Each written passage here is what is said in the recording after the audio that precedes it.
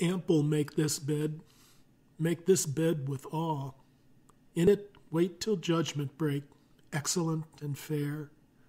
Be its mattress straight, be its pillow round. Let no sunrise yellow noise interrupt this ground.